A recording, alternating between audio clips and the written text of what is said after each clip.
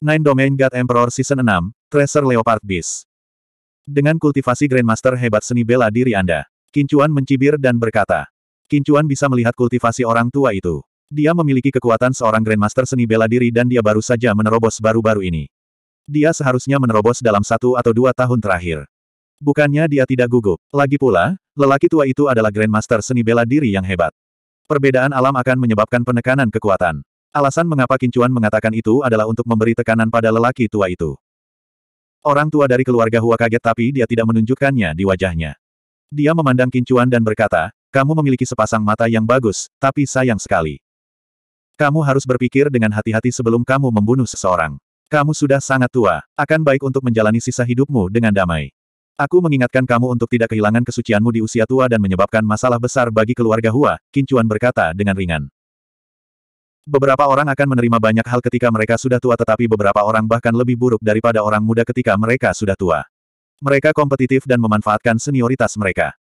Orang tua klan Hua adalah eksistensi terkuat di kota Skaimun. Biasanya, siapa pun yang melihatnya harus dengan hormat memanggilnya sebagai tuan tua. Sekarang, seorang junior telah membunuh cucunya dan bahkan berbicara dengan tidak sopan kepadanya. Ini membuatnya sangat tidak nyaman. Betapa sombongnya, kehilangan kesucianku di masa tuaku. Aku ingin melihat bagaimana kamu akan membuatku kehilangan kesucianku di masa tuaku dan bagaimana kamu akan menyebabkan masalah besar bagi keluarga Hua. Pria tua itu menunjuk ke arah Kincuan dan gemetar karena marah. Bocah kecil, apakah kamu pikir kamu bisa membuatku takut seperti ini? Aku sudah makan lebih banyak garam daripada kamu makan nasi. Lelaki tua dari keluarga Hua mencoba menenangkan dirinya. Tidak ada gunanya tidak peduli berapa banyak garam yang kamu makan. Orang tua dari keluarga Hua tersedak dan berhenti berdebat dengan Kincuan. Dia mengeluarkan tongkat kepala naga di tangannya. Warnanya keemasan. Itu ditempa dari emas hitam dan jauh lebih berharga daripada emas. Tongkat kepala naga itu panjangnya lima setengah kaki dan setebal pergelangan tangan. Ada kepala naga yang hidup di atasnya dan itu benar-benar memiliki tekanan yang samar. Kincuan mengeluarkan pedang emasnya dan mengambil inisiatif untuk menyerang. Ketika dia bertemu dengan seorang Grandmaster seni bela diri, bahkan jika dia adalah seorang Grandmaster seni bela diri pada tahap awal, tekanannya sangat besar. Dia menanamkan teknik kekuatan ilahi sembilan naga ke dalam Golden Point Sword dan menyerang dengan sekuat tenaga. Qin Chuan menggunakan Golden Point Sword. Seperti kata pepatah, pedang yang berat tidak memiliki ujung, dan keterampilan yang hebat tidak akan berhasil. Dia telah mencapai alam makna sejati dalam aspek ini, dan ini juga merupakan serangan terkuatnya. Itu bahkan lebih kuat dari Tiger Leopard Sicik karena Golden Point Sword. Orang tua dari keluarga Hua mengulurkan tongkatnya dan memblokir pedang emas Kincuan. Ledakan. Trotoar batu di bawah kaki Qin Chuan segera retak, aura dari benturan pedang dot gold dan kruk kepala naga menghempaskan batu-batu yang retak itu. Seorang Grandmaster Martial Dao memang menakutkan. Mata Qin berbinar sementara lelaki tua dari keluarga Hua itu bahkan lebih terkejut. Bagaimana mungkin seorang anak kecil yang hanya seorang master seni bela diri di tingkat menengah memiliki kemampuan tempur yang begitu mengerikan? Penekanan. Kekuatan Qin Chuan sedikit ditekan. Ini adalah aturan Dao Surgawi. Itu seperti orang dewasa memukuli anak kecil. Orang dewasa memiliki keunggulan tinggi badan, anggota tubuh yang tebal, dan panjang. Ekspresi lelaki tua dari keluarga Hua itu tidak berubah tetapi dia sudah membulatkan tekad untuk membunuh. Tongkat kepala naga di tangannya mengeluarkan serangkaian bayangan dan dikelilingi oleh aura emas kabur. Langkah ini menutup semua rute pelarian kincuan. Langkah ini sangat kejam. Angin melolong dan langit dan bumi tampak kabur. Orang tua dari keluarga Hua adalah seorang Grand Master Martial Dao. Dari segi kekuatan, dia tidak kalah dengan kincuan. Selain itu, Kincuan sedikit tertekan. Kekuatan adalah ketergantungan Kincuan, tetapi ketergantungan ini telah kehilangan pengaruhnya. Namun, Kincuan masih memiliki kecepatan. Melintasi langkah dunia. Mata ilahi emas. Kincuan dapat dengan jelas melihat lintasan serangan itu. Bayangan setelahnya tidak tampak menakutkan bagi Kincuan. Memiliki mata ilahi, dia paling tidak takut dengan serangan yang membingungkan. Dentang. Kincuan dengan mudah memblokir tongkat lawannya. Kemudian, sosoknya bergerak dan dia menamparkan dengan pedangnya. Bukan karena kekuatan Qin Chuan tidak dapat mengancam lelaki tua dari keluarga Hua. Jika Qin Chuan menggunakan pedang emas untuk menyerang tubuhnya, jika bagian vital bisa berakibat fatal, akan sulit baginya untuk menahan pukulan bahkan jika itu mengenai tubuhnya. Dentang. Orang tua dari keluarga Hua memblokir serangan Qin Chuan. Salah satu tangannya menyerang tanpa suara. Pukulan tanpa bayangan. Pukulan ini cepat dan kejam. Sudutnya rumit. Tampaknya tiba di depan Qin Chuan dalam sekejap. Psikis harimau dan macan tutul. Reaksi kincuan seperti binatang buas. Dia juga melakukan pukulan. Bang! Kedua tinju bertabrakan dan mereka berdua mundur dua langkah. Kincuan merasa lengannya mati rasa dan tinjunya sedikit sakit. Orang tua dari keluarga Hua jelas tidak lebih baik. Lagi pula, Kincuan memiliki tubuh tiran agung. Jika Kincuan juga seorang Grandmaster seni bela diri, lelaki tua dari keluarga Hua ini mungkin bahkan tidak dapat menerima satu pukulan pun dari Kincuan. Pria tua dari keluarga Hua maju selangkah. Aura di tubuhnya meningkat pesat. Tongkat kepala naga di tangannya bersinar dengan cahaya kemasan. Tekanan tak berbentuk menyelimuti udara. Mata Dewa Emas Kincuan menatap tongkat kepala naga lelaki tua itu. Kepala naga di tongkat memancarkan jejak Dragon Smite di bawah cahaya kemasan yang hangat. Ini mengejutkan Kincuan. Swoosh! Tongkat kepala naga menabrak Kincuan dengan seberkas cahaya kemasan. Tekanan tak berbentuk mengunci tubuh Kincuan. Pada saat ini, Kincuan dapat bergerak, tetapi kecepatannya sangat lambat. Tubuhnya sedikit kaku. Dengan penindasan alam dan jejak kekuatan naga, Kincuan merasa seperti terjebak dalam rawa. Kebenaran luar biasa, mata Dewa Emas. Kebenaran luar biasa yang luar biasa di tubuh Kincuan meledak. Sepertinya dia ingin melepaskan diri dari sangkar ini. Tidak ada gunanya. Ini adalah aturan surga. Ini adalah jejak kekuatan naga tertinggi. Dengan kekuatanmu saat ini, kamu tidak bisa melawan sama sekali. Terima takdirmu. Orang tua dari keluarga Hua mengayunkan tongkat berkepala naga dengan berat. Qin King menyaksikan dengan mulut terbuka. Tubuhnya gemetar. Adegan yang paling tidak ingin dia lihat akan segera terjadi. Seorang Grandmaster seni bela diri tidak bisa menekan saya. Terbuka untuk saya. Mata Dewa Emas Kincuan melihat Swanman yang tertekan. Melintasi langkah dunia. Dengan satu langkah, dia sepertinya telah melampaui dunia. Tentu saja, ini hanya perasaan. Namun, dia telah melampaui jangkauan penindasan lelaki tua itu. Tingkat ke-11 dari Crossing World Steps telah ditembus. Kincuan memiliki pengalaman tingkat ke-13 di kehidupan sebelumnya. Dia melihat peluang untuk menerobos. Dia menggenggamnya dengan kuat dan menerobos sekaligus. Langkah menyeberangi dunia dalam kehidupan ini jelas berbeda. Tingkat ke-11 Kincuan jauh lebih kuat dari tingkat ke-13 di kehidupan sebelumnya. Misalnya, dia benar-benar bisa melepaskan diri dari kekangan seorang Grandmaster seni bela diri. Swoosh! Kincuan menghindari serangan fatal pria tua itu. Tongkat kepala naga menghantam tanah dengan keras. Kerikil beterbangan dan sebuah lubang besar muncul di tanah batu. Bumi bergetar, dan suara tumpul menyebabkan hati orang-orang bergetar. Ini adalah kekuatan seorang Grandmaster seni bela diri. Jika itu mengenai dia, dia akan hancur berkeping-keping. Qin King melihat bahwa Qin Chuan menghindarinya. Dia lega, tubuhnya menjadi lembut. Bai Feiyun memeluknya dan menatap Qin Chuan dengan cemas. Orang tua dari keluarga Hua terus menekannya. Qin Chuan juga terus membebaskan diri. Dia semakin akrab dengan Crossing World Steps. Dia perlahan menemukan dan menguasai efek magis dari tingkat ke-11. Tingkat ke-11 dari Crossing World Steps sangat berguna. Itu bisa dianggap sebagai kemampuan menyelamatkan nyawa tambahan. Bab 52 Sekali lagi, Qin Chuan dan lelaki tua dari keluarga Hua terjerat dalam perkelahian. Kedua belah pihak terus-menerus menyerang dan bertahan. Para penonton di sekitarnya terpesona. Sayangnya, perbedaan kekuatannya terlalu besar. Ada juga celah antara Grandmaster Martial Dao dan Grandmaster Martial Dao. Qin Chuan sudah menjadi monster untuk bisa menggambar. Us wash wash. Tiga pria parubaya muncul di sebelah Tuan Tua Hua. Mereka semua berada di puncak Grand Master Martial Dao. Apakah kamu akan menggertakku dengan angka? Kincuan menatap Tuan Tua Hua dan berkata. Kamu bajingan kecil, kamu terlalu monster. Aku tidak merasa nyaman membiarkanmu hidup. Lebih baik kamu mati, kata lelaki tua itu dengan dingin. Nada suaranya tegas dan penuh niat membunuh. Hal lama, aku sudah mengatakannya sebelumnya. Kamu akan mendorong keluarga Hua ke jurang maut. Kincuan tidak perlu sopan. Orang ini sudah tua tetapi tidak memiliki sikap seorang penatua. Jika kamu memiliki kemampuan, silakan dan bunuh mereka. Pria tua itu melambaikan tangannya dan memimpin serangan di Kincuan. Ayo serang bersama. Bai Sitian menonjol. Bai Siang ragu-ragu. Siapa pun dari keluarga Bai yang berani menyerang akan mati. Tuan Tua Hua berkata langsung. Kata-kata lelaki tua itu membuat cabang Bai Sitian dari keluarga Bai menjadi satu-satunya yang berani menonjol. Orang tua, kamu telah hidup seperti anjing sepanjang hidupmu. Bunuh. Kincuan menyerang pria tua itu. Dia semakin dekat. Kincuan memutar langkah penyeberangan dunia dan pedang emas di tangannya tiba-tiba meluncur keluar. Pada saat yang sama, bayangan emas melesat keluar dan langsung menembak ke arah lelaki tua itu. Macan tutul harta karun. Mata lelaki tua itu berkilat dan dia secara naluriah mengelak. Dia merasakan hawa dingin di tenggorokannya dan luka muncul. Darah menyembur keluar. Dia begitu dekat untuk dibunuh. Tracer Leopard kembali ke sisi Kincuan. Pada saat ini, Kincuan bergerak lagi. Pedang berat yang keras itu menekan ke depan dengan momentum yang tak tertandingi.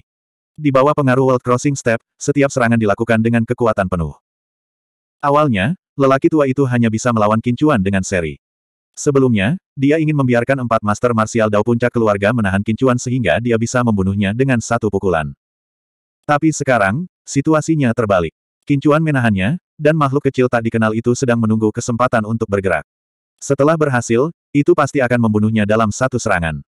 Hati lelaki tua itu bergetar. Ini adalah pertama kalinya dia merasakan ketakutan, ketakutan yang sebenarnya, dan bahkan sedikit penyesalan.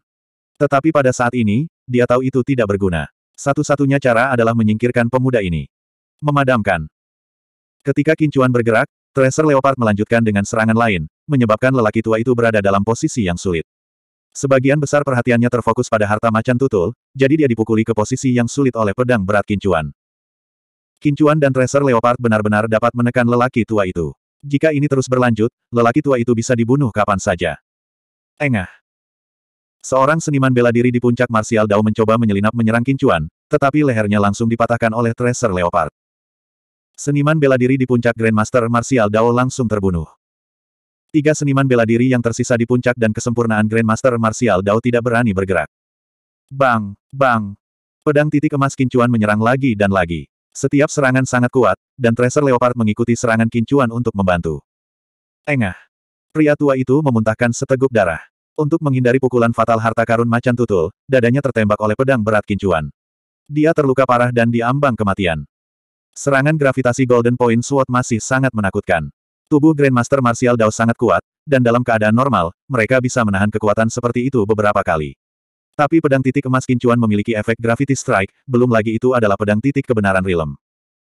Serangan ini secara langsung menyebabkan lelaki tua itu terluka parah dan diambang kematian. Tidak ada obatnya. Sudah berakhir. Mata lelaki tua itu menjadi abu-abu, dan dia tiba-tiba merasa bahwa dia sangat lucu. Dia selalu berpikir bahwa anak ini sombong dan cuek, tetapi pada akhirnya, dialah yang berkepala dingin. Keluarga Hua didorong ke dalam jurang olehnya, dan dia melibatkan keluarga Hua. Dia selalu menjadi pelindung kuat keluarga Hua, dan karena status istimewanya di kota Skaimun, hanya ada segelintir orang di kota Skaimun yang bisa sejajar dengannya. Semuanya sudah berakhir. Dia sudah selesai. Apakah keluarga Hua juga akan tamat? Jika itu dia, dia tidak akan memaafkan pihak lain karena memperlakukannya seperti ini. Pada saat ini, Kincuan melihat ketiga seniman bela diri keluarga Hua yang tersisa di puncak Grandmaster Martial Dao. Pada saat ini, wajah mereka masing-masing pucat pasi, dan masing-masing dari mereka menyesal telah memprovokasi iblis seperti itu. Apakah kamu ingin mati sendiri, atau kamu ingin aku yang melakukannya? Kincuan berkata dengan dingin. Dia dan keluarga Hua sudah berdiri di sisi berlawanan, jadi tidak perlu bersikap sopan saat ini. Dia tidak suka membunuh, tetapi dia tidak akan toleran terhadap mereka yang ingin membunuhnya. Pada saat ini, Tracer Leopard Beast berlari ke sisi Kincuan dengan tongkat kepala naga di mulutnya. Kincuan tertegun. Sesuatu yang disukai Tracer Leopard Beast pasti cukup bagus. Namun, dia dengan cepat tersenyum. Tongkat jalan kepala naga terbuat dari sejenis emas, emas mistik. Itu berkali-kali lebih berharga daripada emas, jadi tidak aneh jika Tracer Leopard Beast menyukainya. Keluarga Hua sudah seperti ini, dan kamu masih ingin membunuh mereka semua. Suara merdu terdengar, dan seorang wanita berjalan mendekat. Dia berusia sekitar 30 tahun, dan sosoknya berkembang dengan baik. Dia berpakaian mewah, dan dia memiliki temperamen yang elegan. Matanya seperti air, dan ada aura bangsawan di antara alisnya. Dia sangat cantik, dan dia memberikan perasaan bahwa dia memiliki kehidupan yang kaya. Dia menatap Kincuan dengan ekspresi dingin. Keluarga Hua adalah orang yang ingin membunuh mereka semua. Aku hanya membunuh mereka yang ingin membunuhku. Apa itu salah? Kincuan mengerutkan kening dan menatap pihak lain. Kamu memandang rendah keluarga Hua, dan kamu juga menghina kakekku. Namun, jika kamu ingin menawar setiap hal kecil, lalu apa bedanya kamu dengan mereka? Ku dengar yang kuat berpikiran luas dan murah hati. Aku mohon Anda untuk membiarkan mereka pergi, dan membiarkan keluarga Hua pergi, nada wanita itu kaku. Apakah aku harus mendengarkanmu hanya karena beberapa kata yang menyanjung? Saya orang yang berpikiran sempit, dan saya pasti akan membalas dendam. Jika kamu terus menghalangiku, aku akan membunuhmu juga, kata Kincuan dengan dingin. Kalau begitu katakan padaku, bagaimana aku bisa membiarkan mereka pergi, dan membiarkan keluarga Hua pergi. Katakan padaku kondisimu, dan selama aku bisa melakukannya, aku akan menyetujuinya, kata wanita itu setelah berpikir sejenak. Siapa kamu? Saya Hua Si Hua, putri tertua dari keluarga Hua, kata wanita itu lembut. Kincuan tidak menyangka bahwa kecantikan ini sebenarnya adalah putri tertua dari keluarga Hua. Apakah dia yang menyukai Bai Fei Yun? Pada saat ini, Binatang macan tutul harta karun juga membawa benih sesawi Sumeru dari tetua keluarga Hua. Kincuan, bisakah kamu membiarkan ini demi aku? Dia membantuku di masa lalu, kata Bai Fei Yun saat ini. Kincuan tertegun sejenak, dan dia menatap Qin King. Qin King menganggukkan kepalanya. Tidak apa-apa asalkan dia melampiaskan kemarahan bibinya. Membunuh bukanlah tujuan. Dia memandang Hua Hua dan berkata, kalian beruntung kali ini. Qin Chuan, Bai Fei Yun, dan yang lainnya sekali lagi berangkat ke kota Laut Selatan. Masalah di sini sudah selesai, dan bisa dikatakan masalah bibinya sudah selesai. Kali ini, Qin Chuan diam-diam terkejut. Jika bukan karena Tracer Leopard Beast, akan sulit untuk mengatakan apa yang akan terjadi. Semakin lama berlarut-larut, semakin buruk baginya. Yang terbaik adalah memotong simpul Gordian dengan cepat, dan akan ada lebih sedikit kejadian tak terduga. Bab 53. Rombongan kembali ke South Sea City. Sepanjang jalan, Qin Chuan menjadi akrab dengan Bai Fei Yun dan keluarganya. Pada awalnya, Qin King dan Bai Fei Yun bukan dari keluarga yang sama, tapi Bai Sitian tidak keberatan. Namun, Bai Sijiao memaksa Bai Fei Yun dan Qin King berpisah untuk membentuk aliansi pernikahan dengan keluarga Hua. Namun, Hua Hua tahu bahwa Bai Fei Yun tidak menyukainya, jadi dia tidak memaksa Qin Chuan untuk menikahinya. Dia bahkan membantu Bai Fei Yun beberapa kali. Ini juga karena Bai Fei Yun berbicara untuk Hua Hua dan meminta Qin Chuan untuk melepaskannya. Itu bisa dianggap sebagai membalas budi Hua Hua. Begitu mereka memasuki South Sea City, keluarga Bai tinggal di sebuah restoran dan mengirim orang untuk mencari manor yang cocok. Bai Sitian, Bai Feiyun, dan yang lainnya pergi ke bisnis keluarga Qin. Ini juga merupakan pertemuan antara mertua. Tuan Tua Qin sangat senang. Kedua keluarga segera menetapkan tanggal pernikahan untuk Bai Feiyun dan Qin King dalam waktu setengah bulan. Pada saat ini, Qin Chuan kembali ke kamarnya. Dia tidak perlu khawatir tentang urusan keluarga Qin dan keluarga Bai.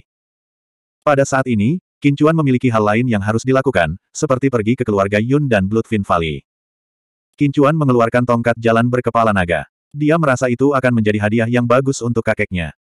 Pada saat ini, Qin Chuan melihat aura emas samar di kepala naga itu. Itu sangat murni, tetapi sangat kecil. Saat Qin Chuan merasa bingung, teknik kekuatan ilahi sembilan naga diaktifkan secara otomatis dan langsung menyerap aura emas misterius dari kepala naga ke dalam tubuhnya. Wosh! Qin Chuan terkejut. Dia merasakan kekuatan misterius memasuki teknik kekuatan ilahi sembilan naga, dan kemudian Kincuan berdiri di sana dengan linglung. Tulang-tulang di lengannya telah berubah warna keemasan dan dipenuhi dengan kekuatan besar. Seluruh kerangkanya menjadi lebih kuat, lebih keras, dan sekuat baja. Fleksibilitasnya juga sangat bagus. Grandmaster Martial Dao tahap akhir, Grandmaster Martial Dao puncak.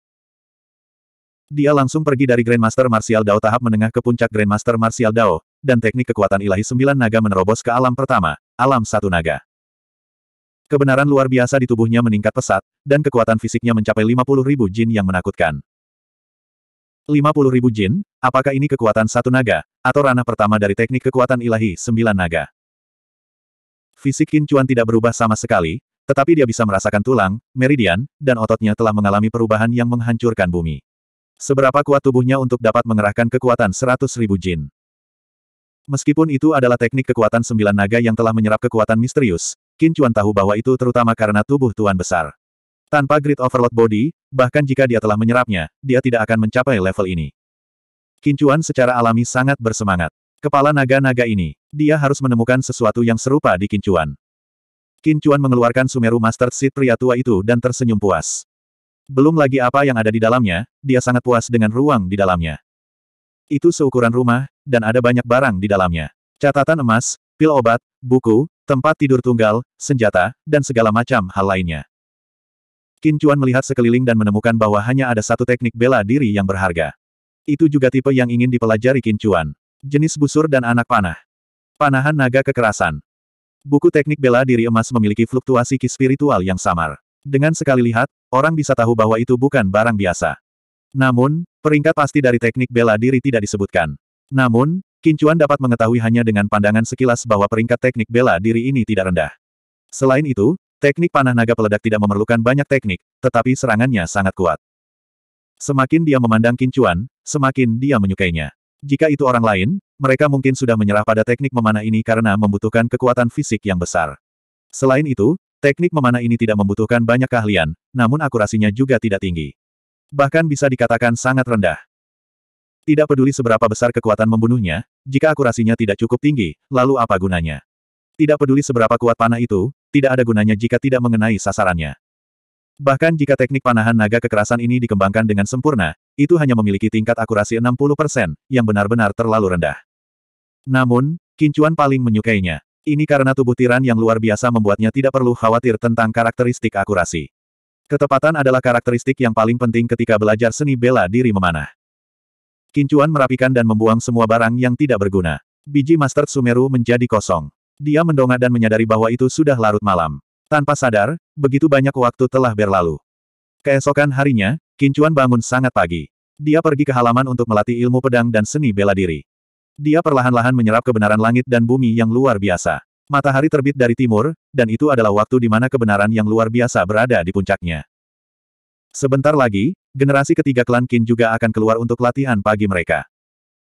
Hari ini, klan Bai telah membeli sebuah manor tidak jauh dari perusahaan dagang klan Qin. Mereka telah resmi menetap di South Sea City. Setelah sarapan, Qin Chuan pergi ke Imperial Dining Hall. Dia tidak melihat permaisuri Qian selama lebih dari sebulan. Keduanya bisa dianggap pacar dan pacar. Bisnis Imperial Dining Hall masih berkembang pesat. Kincuan masuk dan langsung menuju lantai paling atas.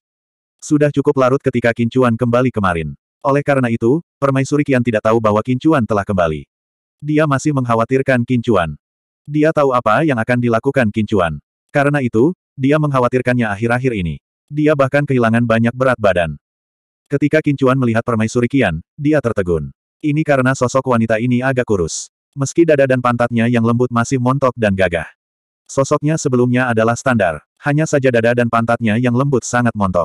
Sekarang, bahunya yang seperti pisau bahkan lebih kurus, dan pinggangnya yang seperti ular bahkan lebih ramping.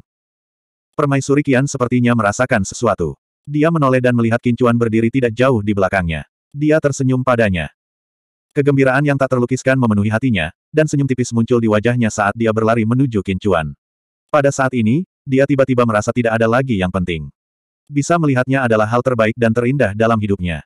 Kincuan tiba-tiba memeluk permaisuri Kian dengan erat. Seolah-olah dia ingin menggosokkan seluruh tubuhnya ke tubuhnya. Aku sangat merindukanmu. Kincuan berbisik di telinganya. Hati permaisuri Kian sedikit bergetar. Beberapa kata sederhana sepertinya memiliki kekuatan magis. Dia menggigit bahu Kincuan. Dia menggunakan banyak kekuatan. Kincuan tidak berani menggunakan terlalu banyak kekuatan. Dia takut dia akan mematahkan giginya. Dia hanya bisa membiarkannya menggigit. Setelah beberapa saat, permaisuri Kian melepaskannya. Kemudian, dia dengan lembut menggosok dengan tangannya. Apakah itu menyakitkan? Biarkan aku mencoba dan melihat apakah itu sakit. Saat Kincuan mengatakan ini, dia membuka mulutnya dan menggigit hidung permaisuri Kian. Namun, dia tidak menggunakan terlalu banyak kekuatan, menyebabkan permaisuri Kian terkikik. Aku sangat mengkhawatirkanmu. Selama bulan ini, tidak ada hari di mana aku tidak khawatir. Aku selalu berharap kamu akan segera kembali. Permaisuri Kian berkata dengan lembut sambil meringkuk di pelukan Kincuan. Hati Kincuan menghangat. Kecantikan yang tiada taraf seperti itu mengkhawatirkannya. Dia merasakan kegembiraan yang tak terlukiskan di dalam hatinya. Hatinya dipenuhi rasa kasihan. Dia benar-benar ingin tinggal di sisinya dan berjalan di jalan ini sendirian. Namun, dia tahu bahwa dia masih memiliki urusan sendiri untuk dilakukan. Sarang kecantikan, gundukan pahlawan.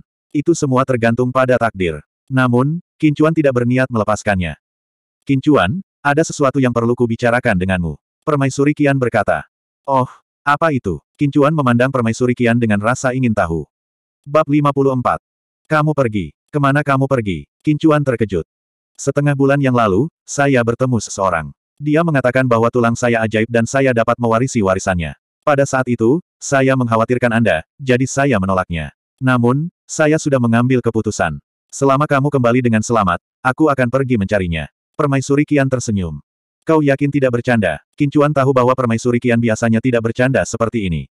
Saya tidak bercanda. Permaisuri Kian menggelengkan kepalanya. Apakah orang itu laki-laki atau perempuan? Kincuan bertanya. Permaisuri Kian memberinya tatapan menawan. Aku tahu kamu akan menanyakan pertanyaan ini. Kakakku yang baik mengerti aku, dan hati kita terhubung. Di masa depan, jika kita adalah suami dan istri, kita akan bisa menembus logam. Permaisuri Kian tidak berdaya. Dia hanya menatap Kincuan sampai dia terlalu malu untuk mengatakan apa pun. Kemudian, dia berkata, dia adalah seorang nenek tua. Sebelum dia pergi, dia memberiku sebuah batu. Ada formasi teleportasi satu kali di atasnya yang dapat memindahkanku ke sisinya. Saat dia berbicara, Permaisuri Kian mengeluarkan batu itu. Batu teleportasi.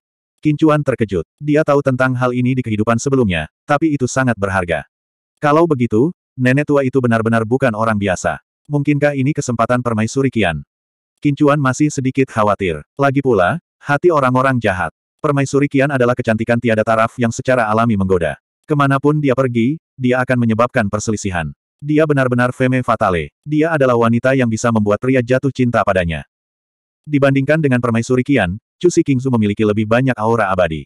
Orang biasa bahkan tidak akan berpikir untuk mendapatkannya. Kebanyakan dari mereka hanya memikirkannya di dalam hati mereka. Siapa pun yang bisa menikahi Chu Si Kingzu akan lebih merupakan kepuasan spiritual. Rasanya seperti memetik bintang, matahari, dan bulan dari langit. Baiklah, jangan khawatir. Nenek bukan orang jahat. Aku bisa merasakannya. Permaisuri Kian senang melihat bahwa Kincuan mengkhawatirkannya. Permaisuri Kian pergi. Kincuan merasa sedikit sedih. Dia tidak tahu kapan mereka akan bertemu lagi. Sebelum pergi, Permaisuri Kian memberikan balai masakan kekaisaran ke Kincuan.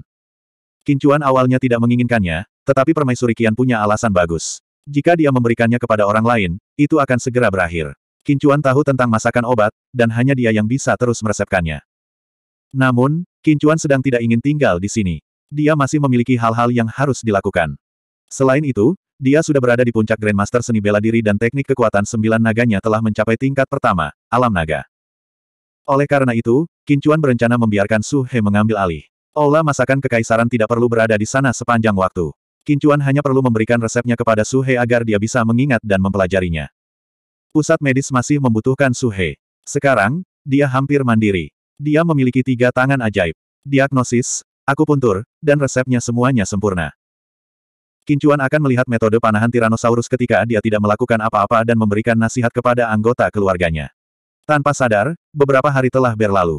Dia tidak keluar lagi. Dia akan pergi keluar setelah pernikahan bibinya. Dia harus pergi ke keluarga Yun dan Bloodfin Valley. Dia membeli busur biasa dan kembali. Dia mengabdikan dirinya untuk berlatih metode panahan Tyrannosaurus. Senjata tersembunyi tidak sekuat busur dan anak panah dalam hal jarak dan kekuatan. Legenda mengatakan bahwa Dewa Panahan dapat menembak jatuh bintang-bintang di langit, tetapi tidak ada legenda bahwa senjata tersembunyi siapa pun dapat mencapai kekuatan seperti itu. Juga, dengan peningkatan kekuatan dan pertahanan seorang seniman bela diri akan sangat meningkat, dan kekuatan senjata tersembunyi akan menjadi semakin tidak kuat. Dikatakan bahwa seratus besar daftar peringkat surga, bumi, dan manusia di benua itu tidak menggunakan senjata tersembunyi. Kincuan mencoba akumulasi kekuatan dalam metode panahan Tyrannosaurus, kekuatan fisik, dan teknik kekuatan sembilan naga sedikit demi sedikit dan kemudian mulai berlatih. Segera, hari pernikahan Qin King tiba. Itu adalah hari yang sangat hidup. Hampir semua keluarga dan pasukan terkenal di South Sea City telah datang, dan banyak dari mereka tidak saling mengenal. Orang-orang ini tidak datang untuk kincuan kali ini, tetapi untuk keluarga Bai. Banyak kekuatan di South Sea City tahu tentang masalah Qin King. Keluarga Bai telah menetap di South Sea City, jadi mereka tidak punya pilihan selain pergi. Keluarga ini sebenarnya tidak ingin keluarga Bai ada di sini, karena akan merusak keseimbangan South Sea City. Pernikahan berjalan lancar. Kincuan sangat rendah hati kali ini.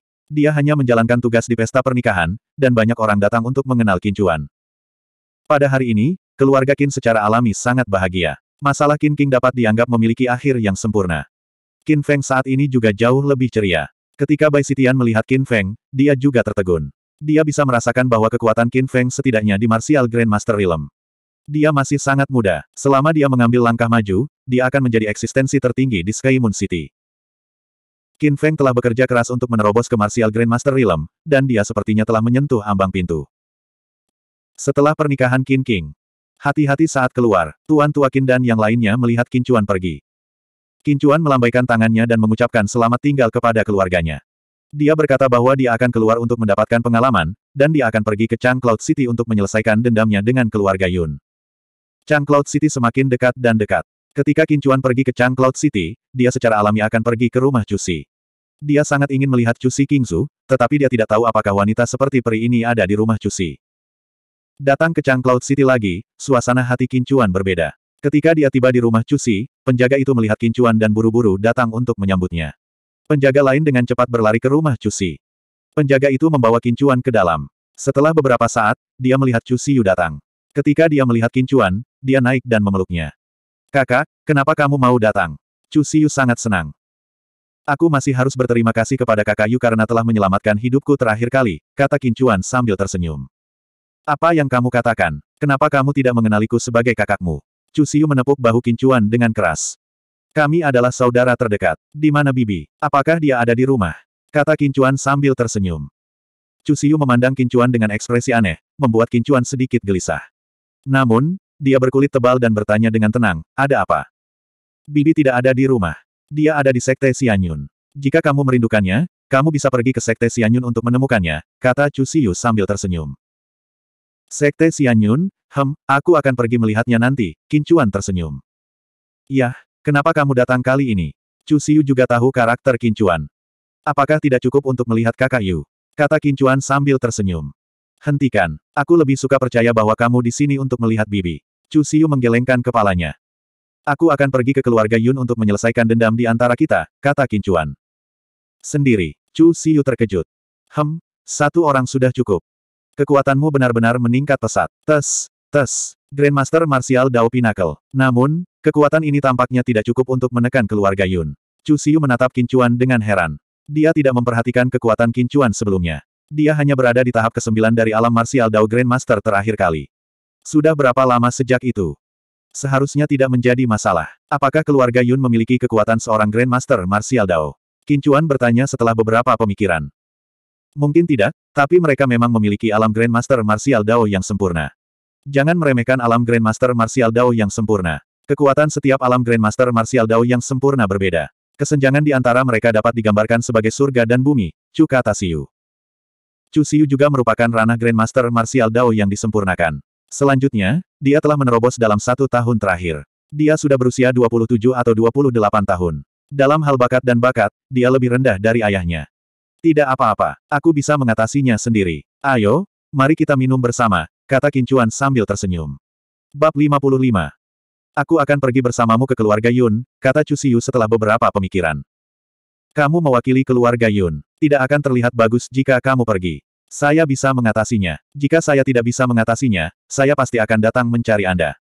Saya tidak akan berdiri dalam upacara dengan Anda, kata Kincuan.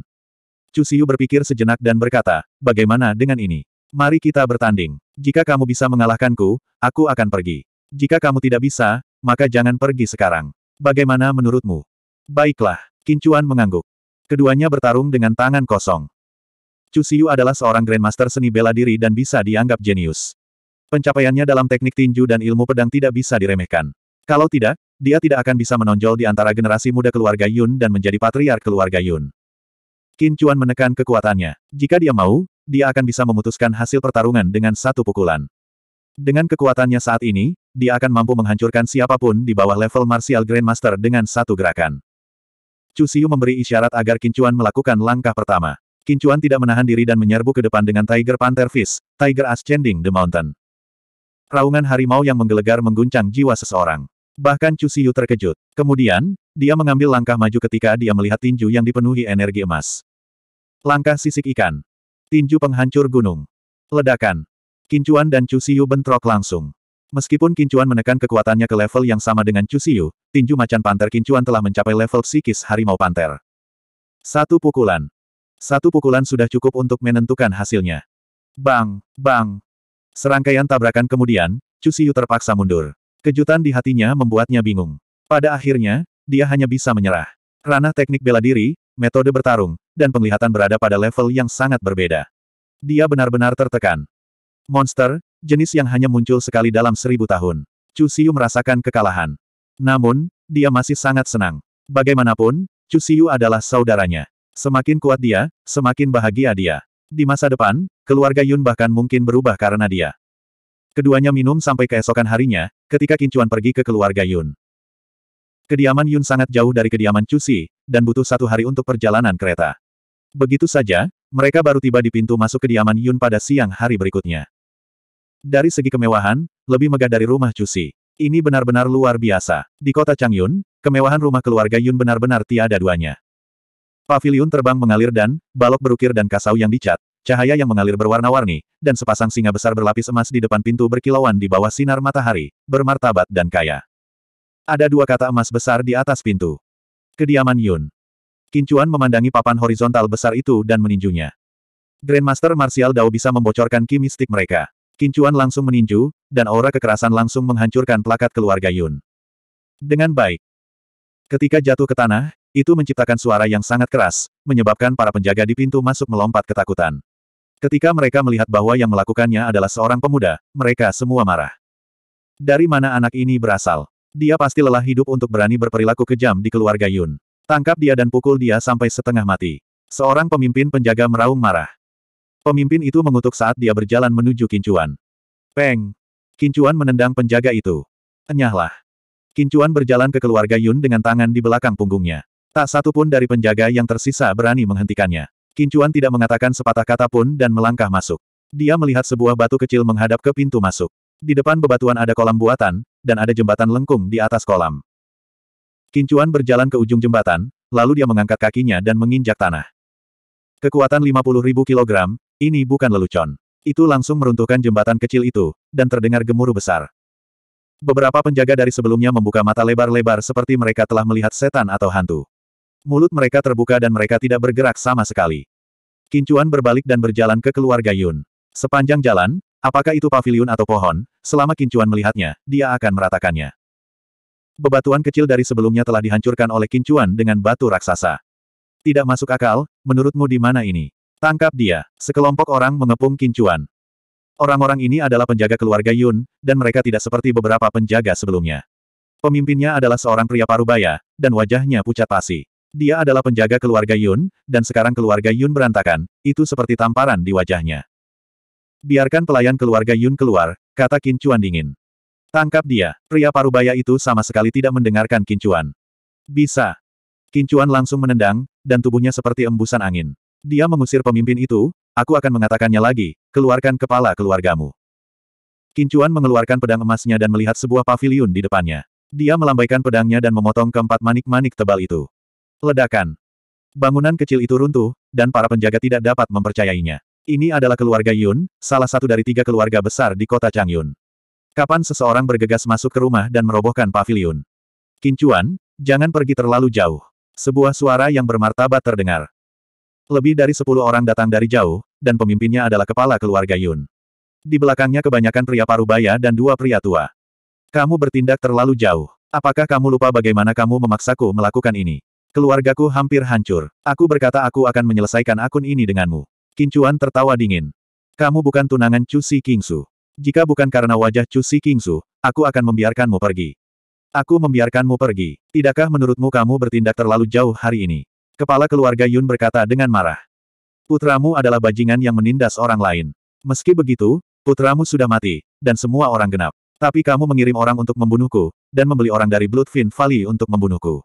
Jika aku tidak mengajarimu cara pelajaran, apakah menurutmu aku mudah dibully? Kincuan tertawa dingin.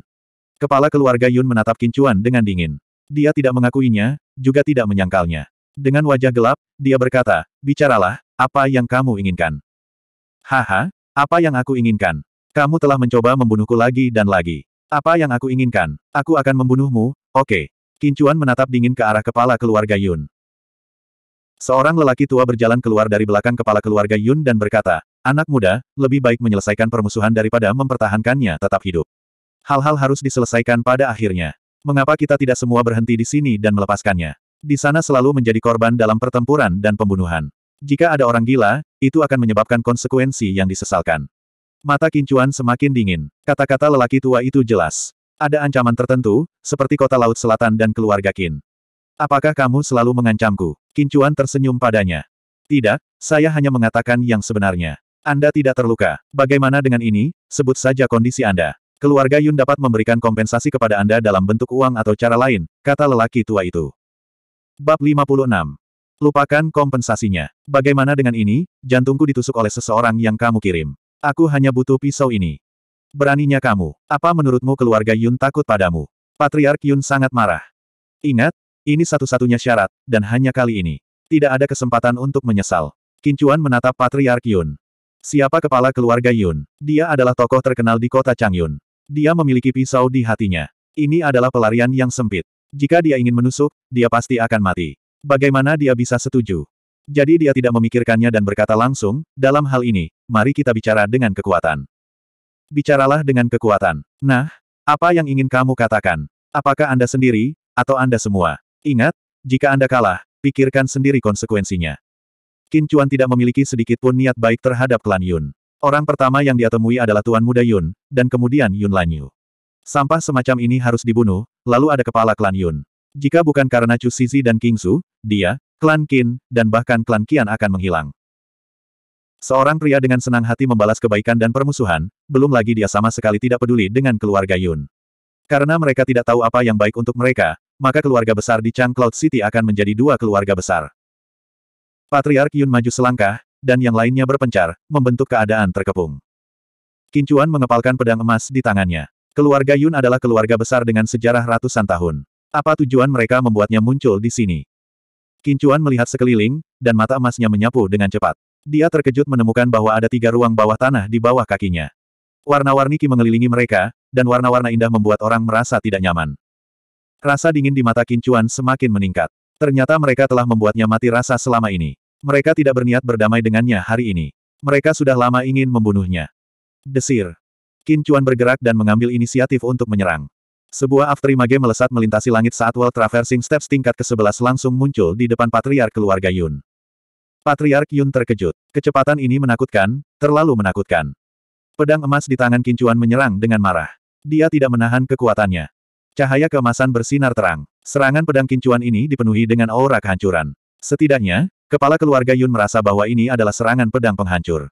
Dia tidak berani memblokirnya sama sekali. Satu-satunya hal yang bisa dia lakukan adalah menghindarinya. Kecuali dia tidak bisa menghindarinya, dia bisa mengorbankan benteng untuk menyelamatkan sang jenderal. Patriark Yun dengan cepat mundur, dan seorang lelaki tua di sampingnya menusukkan pedangnya ke leher Kincuan. Karena Patriark Yun menyadari bahwa tidak ada cara untuk bersembunyi. Pedang lelaki tua itu cepat dan ganas. Cahaya pedang melesat sejauh tiga kaki dan dengan cepat menusuk ke arah sisi kiri leher Kincuan. Ledakan. Pada saat ini, suara keras datang dari bawah kaki Kincuan. Sebuah penjara bawah tanah dengan cepat muncul, dan panah yang tak terhitung jumlahnya ditembakkan seperti hujan. Beberapa anak panah ini bersinar dengan cahaya hitam, sementara yang lain bersinar dengan cahaya biru. Melintasi langkah dunia. Kincuan mengharapkan ini dan bersiap. Untungnya, dia memiliki mata dewa emas. Kalau tidak, dia tidak akan tahu bahwa ada tempat bawah tanah yang menyeramkan. Serangan pria tua itu sebelumnya adalah untuk memaksa Kincuan masuk ke dalam perangkap. Pada saat itu, Kincuan menggunakan crossing wall steps dan melompat keluar dari area itu. Dia muncul di depan Patriark Yun dalam sekejap. Pedang emas di tangannya masih menebas dengan ganas. Serangan habis-habisan, secepat kilat. Mata Patriark Yun berkilat tajam. Karena dia tidak bisa mengelak atau memblokirnya, dia harus berusaha sekuat tenaga. Patriark Yun tidak mengelak. Pedang panjangnya menusuk ke arah leher Kincuan. Dia siap mati bersamanya. Patriark Yun punya rencana bagus, tapi Kincuan benar-benar menekannya. Itu bukan sesuatu yang dia bisa lakukan habis-habisan. Pedang emas menangkis dan memblokir pedang panjang Patriark Yun, sementara Kincuan meninju. Retakan. Bang. Pukulan Kincuan mendarat di dada Patriark Yun, membuatnya terbang. Tulang di dadanya patah, dan semua organ dalamnya hancur. Memukul. Patriark Yun mendarat di tanah, bernapas lebih dari yang dia hirup. Satu gerakan. Semua ini terjadi dalam sekejap. Kincuan berlari, berhenti di tengah, lalu muncul di depan Patriark Yun lagi dan membunuhnya seketika.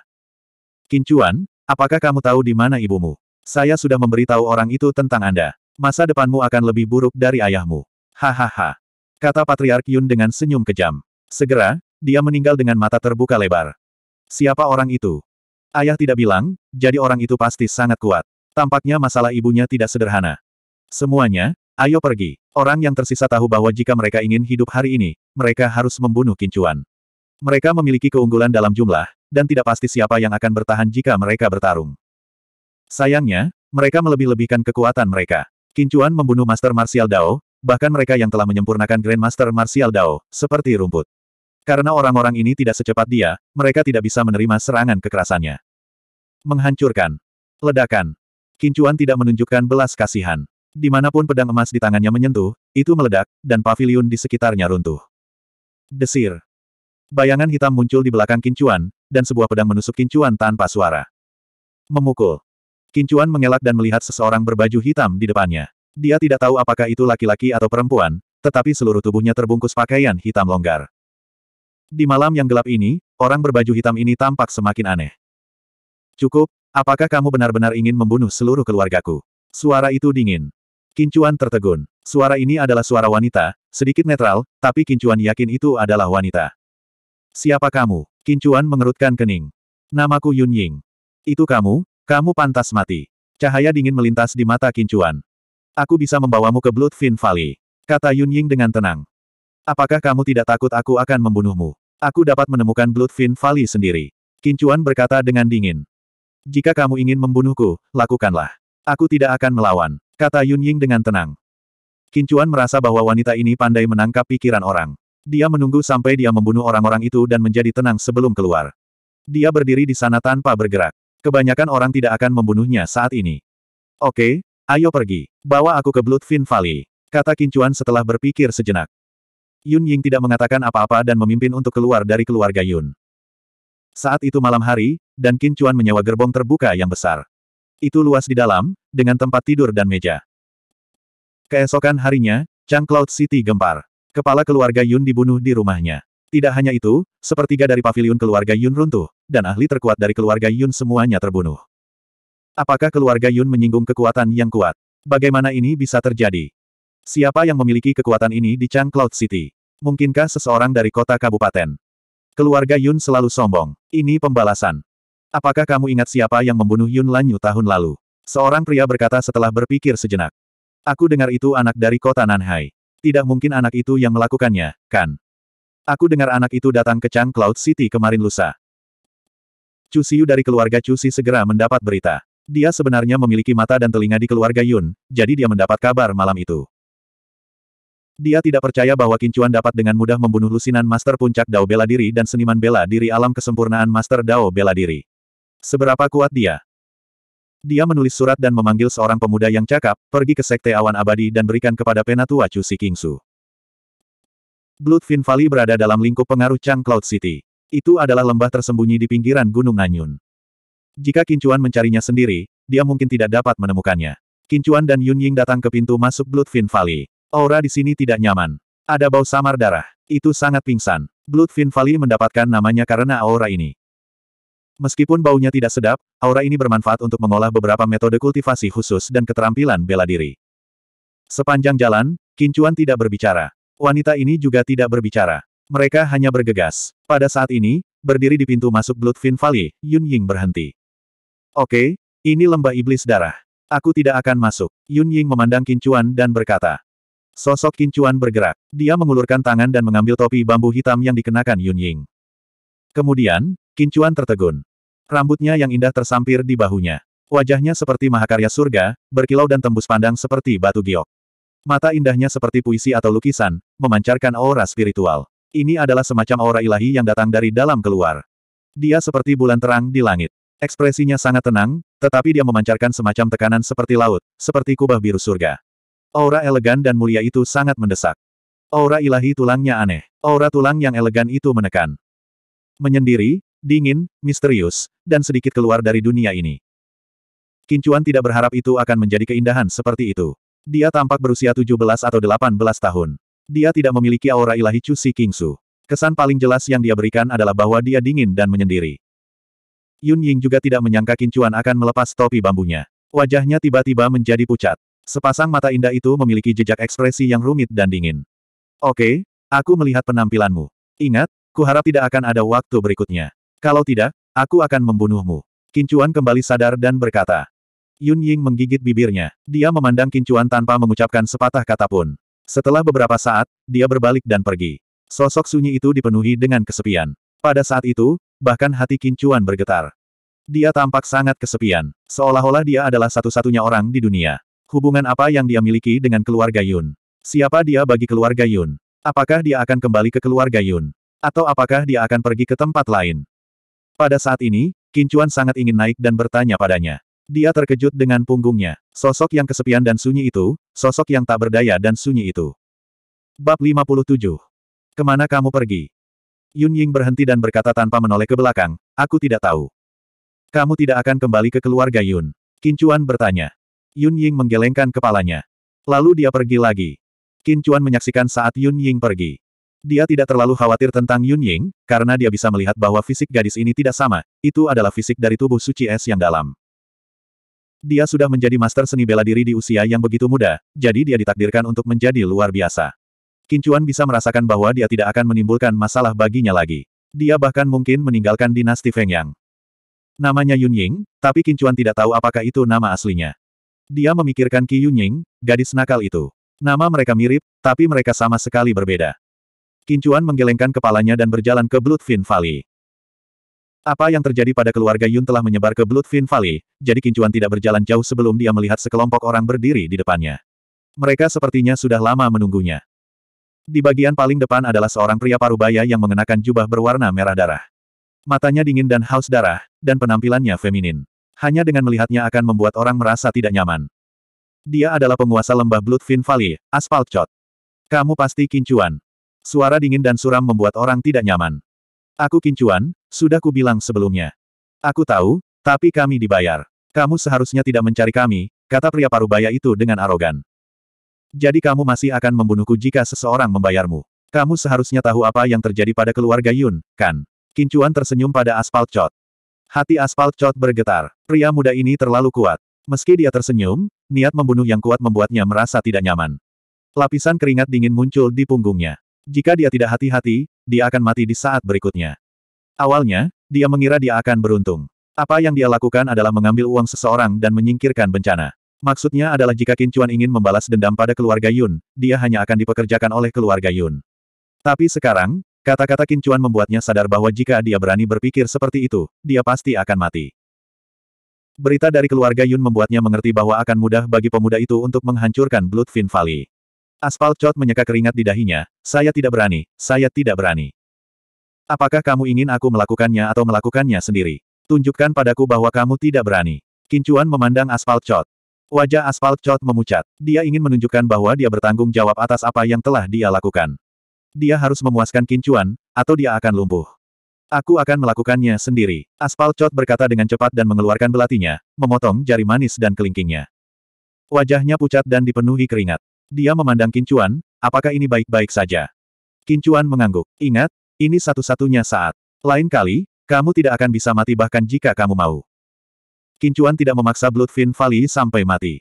Ada orang-orang putus asa di antara mereka. Jika mereka dipaksa, mereka akan melakukan apa saja. Jika dia ingin bertarung, dia akan bertarung dengan sengit. Dia akan memukuli mereka sampai mereka takut. Rasanya seperti memukuli anjing. Dia bisa mengejarnya dan mengalahkannya, tapi dia tidak bisa memaksanya masuk ke gang atau memaksanya ke jalan buntu. Kincuan ingin Bloodfin Valley takut padanya, benar-benar takut. Itu sudah cukup. Datang dan pergi dengan tergesa-gesa, Kincuan kembali ke Blue Cloud City. Chu Xiu telah meminta Kincuan untuk menyelesaikan urusannya dan kembali ke rumah agar saudara-saudara dapat berkumpul dengan baik. Kincuan secara alami tidak memiliki masalah dengan ini. Dia juga ingin berterima kasih kepada Chu Xiu. Teman ini layak untuk dibuat. Setelah kembali ke rumah Chu Xiu, Chu tidak mengatakan apa-apa saat melihat Kincuan. Anggur enak, makanan enak, mereka berdua minum dengan gembira. Apa rencanamu? Chu meletakkan cangkir anggurnya dan bertanya sambil tersenyum. Pergilah keluar dan lihatlah. Dunia ini sangat besar, kata Kincuan dengan sedikit kerinduan. Iya, ini sangat besar. Aku juga ingin keluar dan melihatnya. Sayangnya, misi keluargaku, Chu menggelengkan kepalanya. Kamu seorang duke. Berapa banyak orang yang iri padamu? Kamu muda dan kaya. Kamu berasal dari keluarga jenius. Kamu adalah salah satu dari empat tuan muda Blue Cloud City. Kamu adalah kekasih impian ribuan gadis. Apakah kamu masih belum puas? Kata Kincuan sambil tersenyum. Kamu tidak tahu situasiku sebelumnya. Chu Xiu tersenyum pahit. Tidak masalah sekarang. Saya bisa menikahi delapan atau sepuluh wanita. Kincuan tersenyum dan meminum anggur di cangkirnya. Aku punya seseorang yang kusukai. Satu wanita saja sudah cukup. Terlalu melelahkan untuk memiliki lebih banyak. Chu Xiu menggelengkan kepalanya dan tersenyum bahagia. Dia sepertinya sedang memikirkan seseorang yang disukainya. Kincuan memikirkan dirinya sendiri. Chu Xiu ingin tinggal bersama seorang wanita selama sisa hidupnya. Bagaimana dengan dirinya sendiri? Apakah dia hanya tinggal bersama permaisuri Qian? Memikirkan hal ini, Qin Chuan terdiam. Dia tidak tahu. Dia memikirkan Bei Sui. Di mana dia sekarang? Apakah dia menganggap dirinya sebagai seorang anak dan sekarang dia memiliki pria yang disukainya? Dia menggelengkan kepalanya dan membuang pikiran-pikiran ini ke samping. Hubungan antara pria dan wanita adalah yang paling rumit. Terkadang, itu tidak terserah orang. Biarkan alam mengambil jalannya. Hidup itu singkat. Jangan tinggalkan dirimu dengan penyesalan. Apa yang salah? Chu Xiu bertanya ketika dia melihat Kincuan menggelengkan kepalanya. Apakah dia menyukaimu? Kincuan bertanya. Dia hanya gadis biasa. Dia mungkin bahkan tidak mengetahui keberadaanku. Aku menyukainya sebelumnya. Jika kau menyukainya, katakan padanya. Kata Kincuan. Aku takut dia menolakku. Chu Xiu menggaruk kepalanya. Kincuan juga tidak memiliki banyak pengalaman. Keduanya sedang mendiskusikan rencana untuk merayu seorang gadis. Tanpa sadar, Kincuan telah tinggal di rumah Chu Xiu selama seminggu. Hari ini, dia kembali sendirian. Kincuan tertegun. Chu Xiu dan King Su kembali. Dia masih mengenakan gaun polos berwarna terang. Dia memiliki wajah tiada taraf. Kulitnya seperti es dan tulangnya seperti giok. Dia mengeluarkan aura dingin yang bukan milik dunia fana. Dia memiliki sepasang mata indah dari dunia lain yang membuat orang-orang menjauh ribuan mil tetapi membuat mereka tidak dapat berpaling. Dia seperti makhluk abadi yang turun ke dunia fana. Bibi, Bibi Kincuan berseru kaget. Chu Siyu terdiam. Bibi siapa ini? Namun, dia juga menganggapnya lucu. Kincuan hanya begitu pendiam di depan bibinya. Chu Siyu dan King Su kembali setelah menerima surat Chu Siyu. Dia memandang Kincuan dan mengangguk. Kamu membunuh Patriark Yun dan yang lainnya. Iya, mereka ingin membunuhku, jadi aku hanya bisa membunuh mereka. Kekuatanmu telah tumbuh sangat cepat. Terlebih lagi, sebenarnya itu adalah energi benar. Sudah waktunya bagimu untuk pergi. Chu Xiu memandang Kincuan. Dia sedikit terkejut. Tubuh anak ini bukan hanya jenis kuat biasa. Huh, ketika aku melihat kecantikan bibi yang tiada taraf, itu membangkitkan semangat kepahlawananku sesaat. Kekuatanku sebenarnya meningkat tanpa henti, kata Kincuan dengan serius. Chu Xiu terdiam. Dia dengan tegas pergi untuk menyeduh teh. Chu Xiu menggelengkan kepalanya dengan ringan. Aku tidak bertanya apa-apa. Apakah ada kebutuhan untuk menggangguku tanpa henti? Kincuan terkekeh. Aku tidak tahu harus pergi ke mana. Bibi, apakah kamu punya tempat yang bagus untuk dikunjungi? Prefektur Suixi adalah salah satu dari sepuluh prefektur dinasti Fengyang. Sekte Awan Abadi adalah sekte terkuat di prefektur Suixi. Itu juga salah satu dari sepuluh sekte besar dinasti Fengyang. Jika Anda ingin bergabung dengan sekte Awan Abadi, saya dapat membawamu masuk, kata Chu Xiu. Aku tidak bisa meminta lebih. Bibi, kamu sangat baik. Kata Kincuan buru-buru. Chu Xiu melirik Kincuan. Dia sepertinya menyalahkannya karena memanggilnya Bibi. Dia tidak tahu kapan dia terbiasa. Kincuan dan Chu Xiu meninggalkan Chang Cloud City dan menuju prefektur. Masih ada setengah hari sebelum kita bisa memasuki kota prefektur Suixi. Apa yang ingin kamu katakan? Chu Xiu melihat bahwa Kincuan sepertinya ingin mengatakan sesuatu tetapi tidak. Bibi, apa kekuatan arus utama Sekte Awan Abadi? Kincuan memikirkannya dan bertanya. Setelah tahap ke-10 dari jalan bela diri adalah Grandmaster bela diri.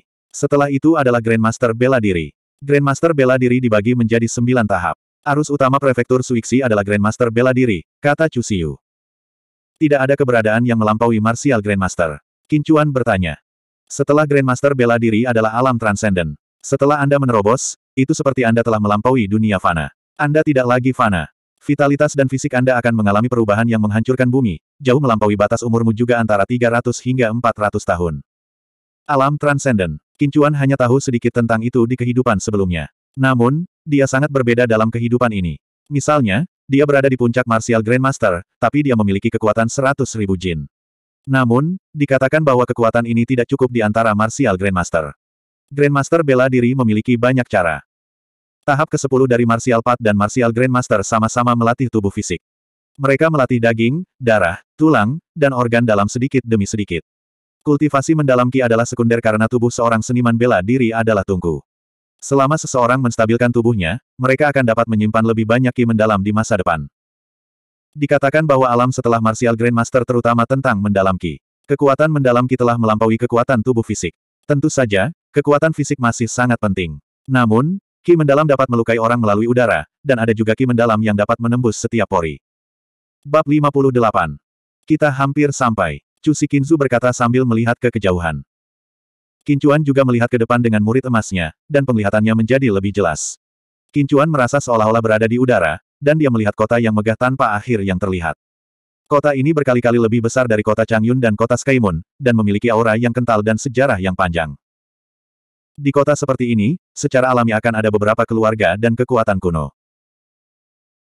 Pupil emas di lautan kesadaran Kincuan sudah tiga kaki delapan inci, dan itu telah mencapai tingkat ketiga beberapa hari yang lalu, memungkinkan penglihatan Kincuan menjadi lebih luas dan matanya menjadi lebih kuat. Kultivasinya juga dekat dengan lingkaran besar alam Grandmaster Martial Dao. Fondasinya sudah sangat kokoh, dan dia meningkat setiap hari. Kereta segera memasuki kota Suixi yang ramai. Ada aliran gerbong yang tak ada habisnya, dan orang-orang sedang terburu-buru. Seniman bela diri yang kuat dapat dilihat kapan saja, dan tempat yang besar memang tidak sebanding dengan tempat yang kecil. Ada banyak seniman bela diri tahap ke-8 dan ke-9 di sini, dan ini adalah jalan utama. Tidak ada banyak perbedaan antara alam fana dan alam misterius. Dalam kehidupan sebelumnya, sekte medis bela diri hanyalah sebuah cabang kecil. Dari segi skala, itu lebih kuat dari kekuatan di kota Changyun, tapi lebih rendah dari kekuatan utama di Kabupaten Suixi. Di kehidupan sebelumnya, dia sangat pekerja keras, berkultivasi, dan meneliti ramuan. Sekarang dia melihat segalanya di Kabupaten Suixi, dia merasa bahwa hidupnya yang indah baru saja dimulai, dan ini akan menjadi titik awal yang baru. Bangunan, kamar dagang, dan toko di sini bukanlah sesuatu yang bisa dibandingkan dengan kota Changyun dan kota Southsea.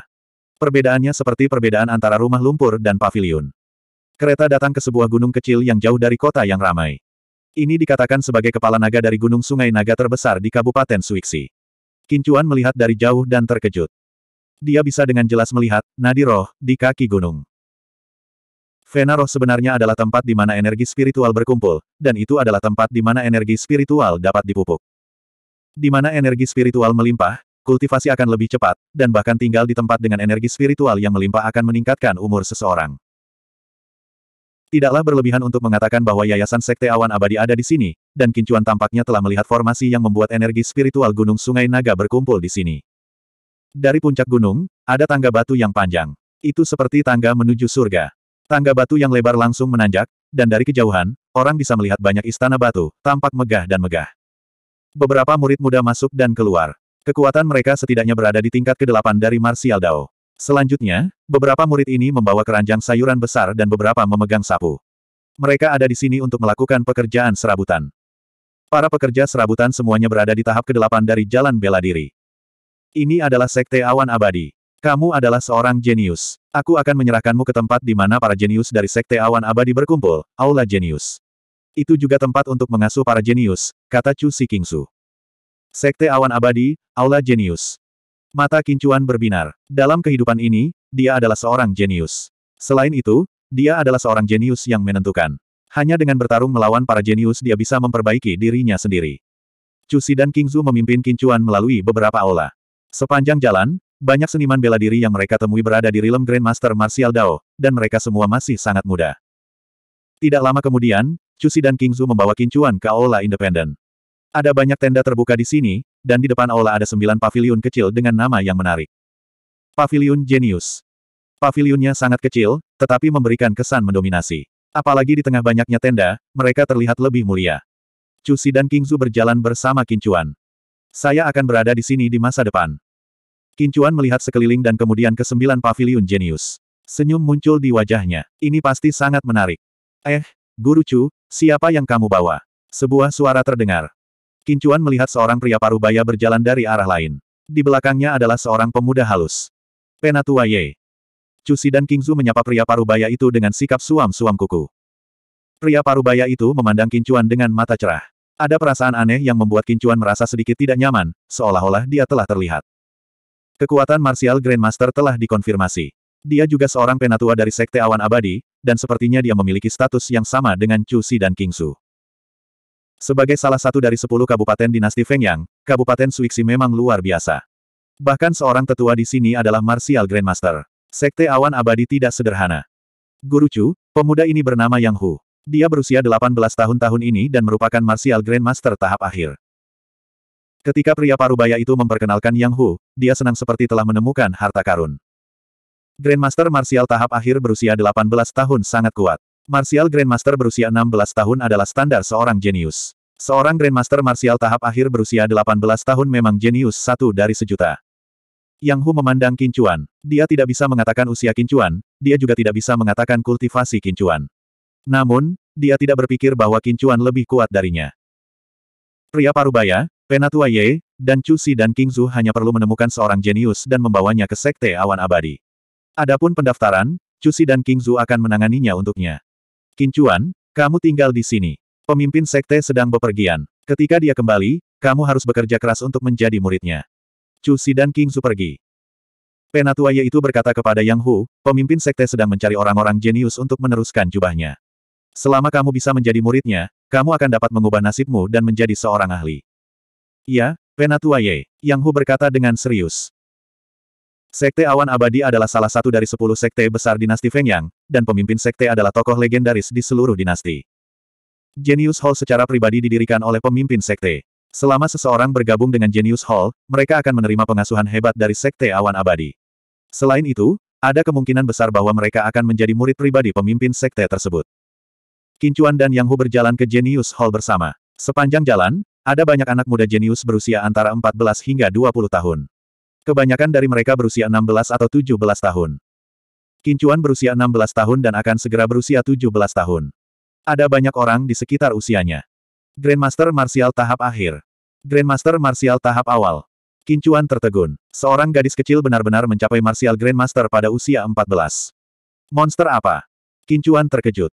Dia mencapai Martial Grandmaster pada usia 16 tahun, dan kultivasinya saat ini hanya tercapai karena terobosan teknik kekuatan ilahi sembilan naga. Dalam keadaan normal, dia hampir sama dengan Yang Hu.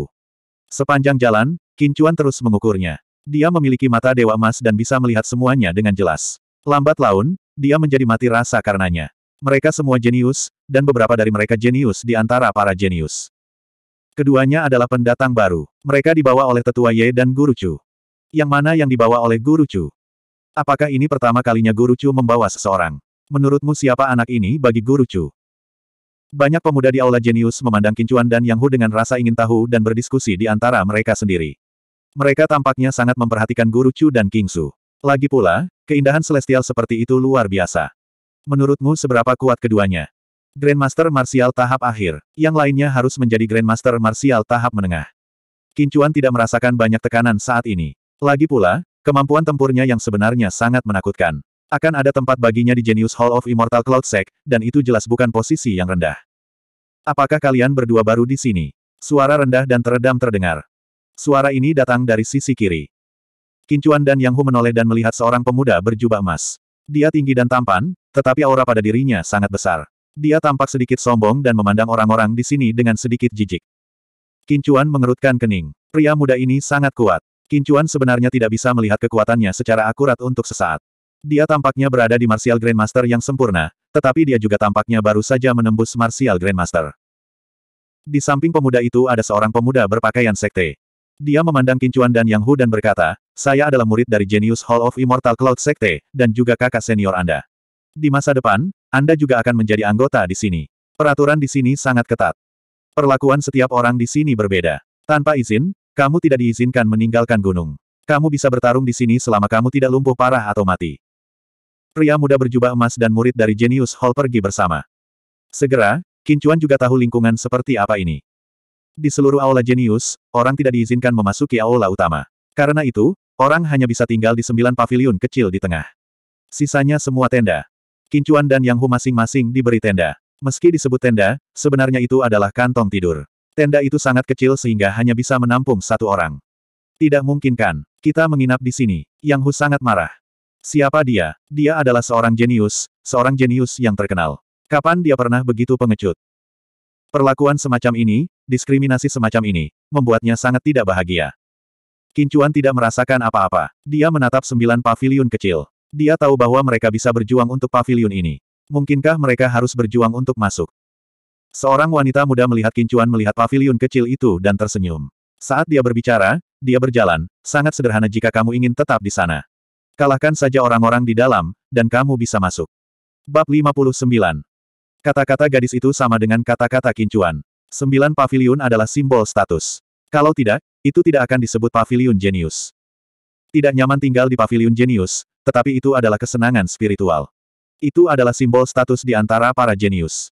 Bagus, bagus, bagus. Aku akan bisa tinggal di paviliun jika aku mengalahkan orang di dalamnya. Ini bagus. Siapa yang datang dengan ide bagus seperti itu? Menarik. Yang Hu mengepalkan tinjunya tanpa sadar.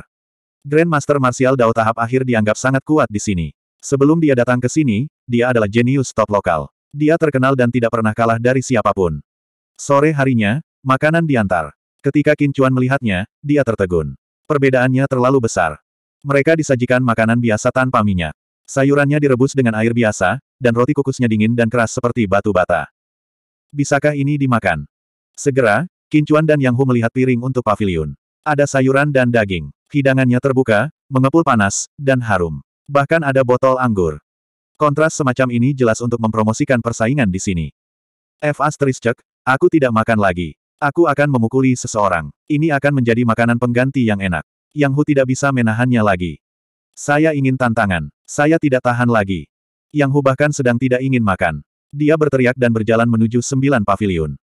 Sembilan paviliun mewakili status tempat ini. Ada ratusan orang jenius di sini, dan masing-masing dari mereka adalah putra surga yang sombong. Mereka semua adalah naga dan burung phoenix di antara manusia. Bagaimana mungkin mereka rela berada di bawah orang lain? Teriakan yang Hu menarik perhatian orang-orang di sekitarnya. Namun, orang-orang di sekitarnya tidak mengatakan apa-apa. Mereka hanya ingin menonton pertunjukan.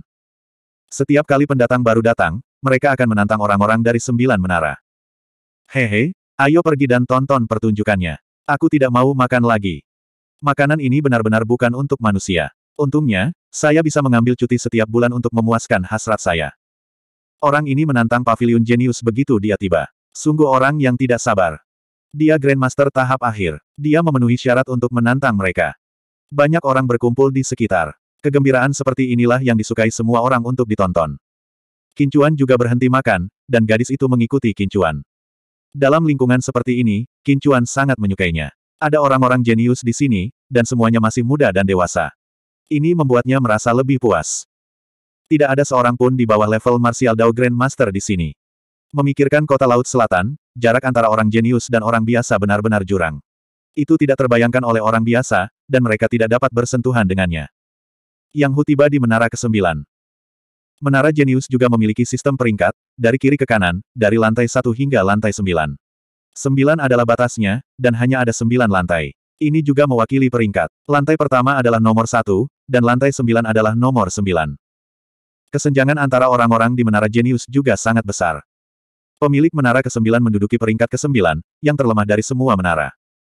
Itu adalah tantangan pertama Yang Hu, jadi dia berhati-hati. Dia tidak dengan sombong menantang mereka yang berperingkat teratas. Bangunan ke-9, keluarlah, aku ingin menantangmu.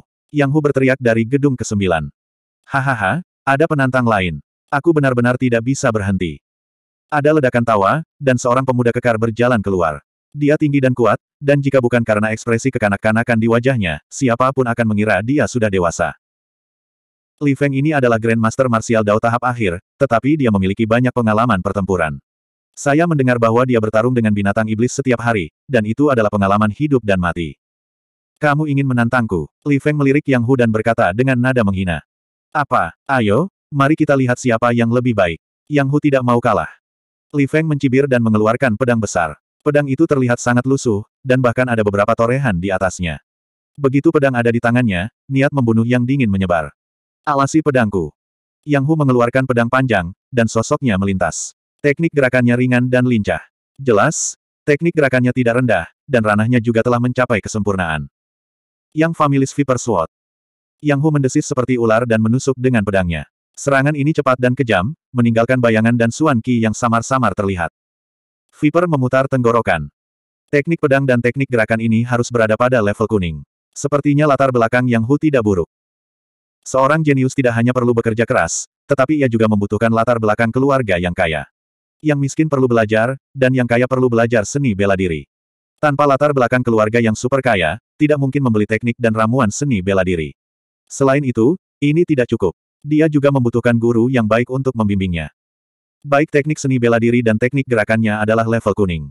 Yang Hu ini memang memiliki kualifikasi untuk menantang kejeniusan menara jenius. Potongan sabre berat. Pedang Li Feng menebas habis-habisan dengan kekuatan besar. Suan Ki merah menyala mengelilingi pedang, dan terdengar raungan samar binatang buas. Dia sudah menyentuh ambang alam kebenaran. Ini juga merupakan teknik seni bela diri tingkat kuning, dan yang telah menyentuh ambang alam kebenaran. Dentang. Pedang dan pedang bertabrakan. Keduanya adalah teknik seni bela diri tingkat kuning, dan wilayah serta kekuatan mereka hampir sama. Namun, Yang Hu mengeluarkan erangan teredam, dan langsung didorong mundur puluhan meter oleh pedang.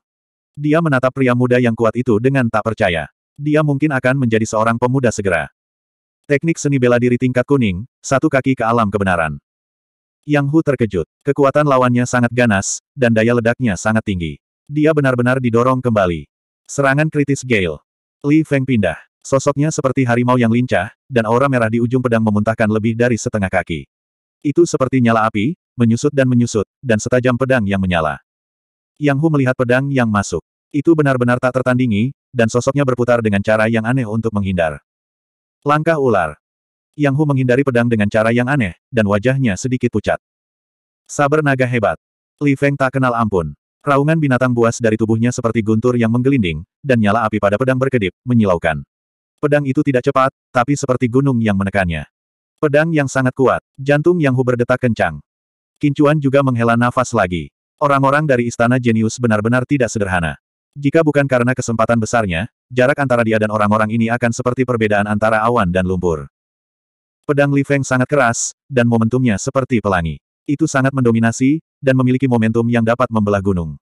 Tarian pedang ular. Saat ini, Yang Hu sangat serius. Pedang panjang di tangannya menjadi lebih lembut, dan langkah kakinya aneh seolah sedang menari. Seolah-olah dia sedang melakukan tarian pedang. Lawannya sangat ganas, tapi Yang Hu selembut ular menari. Dua ekstrim. Swoosh. Ketika kedua kekuatan bersentuhan, tidak ada suara tabrakan yang keras. Sebaliknya, mereka terjerat bersama, dan pasir serta batu di bawah kaki mereka retak. Bang! Sosok Yang Hu dikirim terbang. Wajahnya pucat, dan ada bekas darah di sudut mulutnya. Li Feng hanya terjerat untuk sementara waktu. Yang Hu sedikit santai, dan terkena pedang Li Feng. Elemen api celestial Qi yang kuat itu meledakkan Yang Hu, dan dia bahkan menderita luka dalam. Apa kamu baik-baik saja? Kincuan mengulurkan tangannya dan menunjuk ke jantung Yang Hu. Kemudian, dia mencubit sepanjang meridian jantung Yang Hu dengan jari-jarinya, dan menekan sampai ke jantungnya. Off. Yang Hu memuntahkan seteguk darah ekstravasasi. Dia segera merasakan tubuhnya rileks, dan perasaan sesak dan bingung dari sebelumnya menghilang. Aku baik-baik saja. Aku kalah. Apakah itu memalukan? Yang Hu tampak pahit. Dia adalah jenius nomor satu dari klan Yang. Ranah dan kultivasinya tidak lebih rendah dari lawannya, tetapi dia telah dikalahkan dengan mudah. Dia merasa sulit untuk menerima. Kamu tidak lemah, tetapi lawanmu berpengalaman dan memiliki pengalaman tempur yang kaya. Ranah seni bela dirinya lebih tinggi darimu. Meskipun kalian berdua berada di alam sempurna, dia memiliki satu kaki di alam makna sejati. Tidak salah bagimu untuk kalah, kata Kincuan sambil tersenyum. Huh, pendatang baru ini sedikit pengecut. Meskipun dia bertarung untuk sementara waktu, dia bahkan tidak bisa mengambil satu langkah pun. Betapa memalukan. Kupikir akan ada pertunjukan yang bagus untuk ditonton. Siapa tahu itu akan sangat membosankan. Lebih baik aku kembali dan makan makanan sampah itu. Bab 60 Kincuan mendukung Yang Hu kembali ke tenda, dan gadis itu mengikuti. Kincuan dan Yang Hu hanyalah pemula di Genius Hall, dan sekarang mereka menjadi bahan tertawaan orang lain.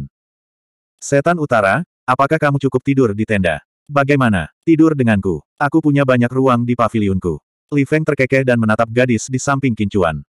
Kincuan sekarang tahu bahwa gadis ini disebut Iblis Utara. Namun, dia hanya bertemu dengannya secara kebetulan dan tidak mengenalnya. Karena itu, dia pura-pura tidak mendengarnya.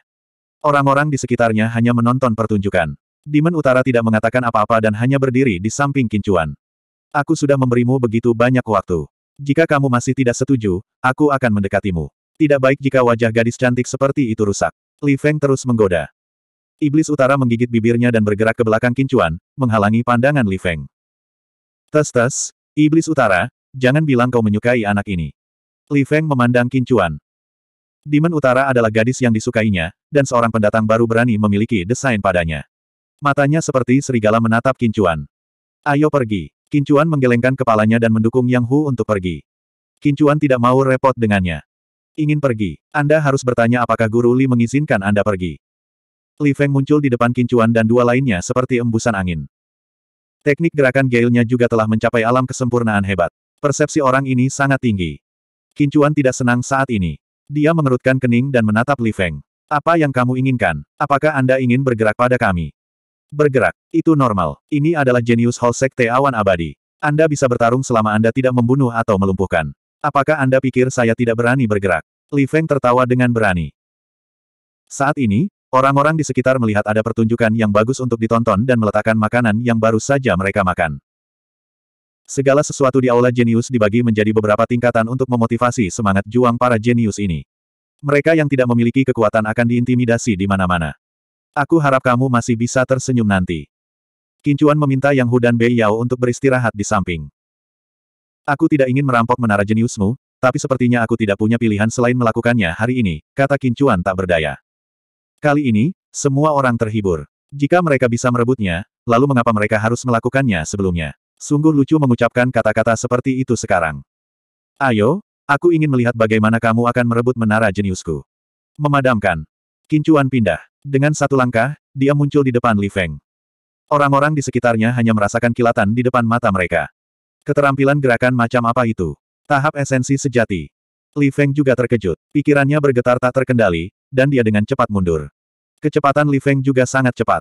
Dia dengan cepat menarik diri, seolah-olah itu adalah refleks yang terkondisi. Kincuan mengikuti lagi. Tidak peduli bagaimana Li Feng mundur, Kincuan akan selalu bisa mengejar. Ketika Li Feng melihat ini, dia mundur selangkah lagi dan menebas Kincuan dengan pedangnya.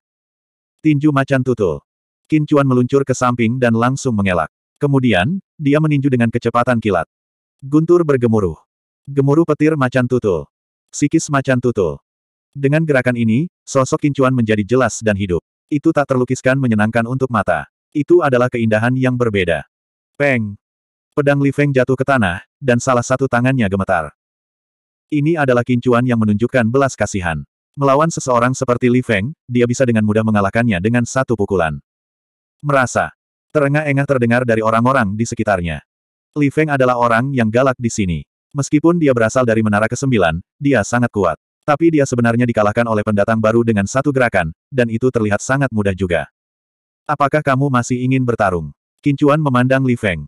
Kamu sangat kuat. Aku akan menantangmu lagi. Setelah mengatakan itu, dia pergi. Menara jenius ini telah menjadi wilayah Kincuan. Dia menang dengan satu gerakan. Sesederhana itu. Apakah ini nyata? Seseorang yang datang terlambat tidak bisa mempercayainya. Tapi sekarang, banyak orang memandang Kincuan dengan hormat dan iri. Jadi dia tidak menyombongkan diri sebelumnya.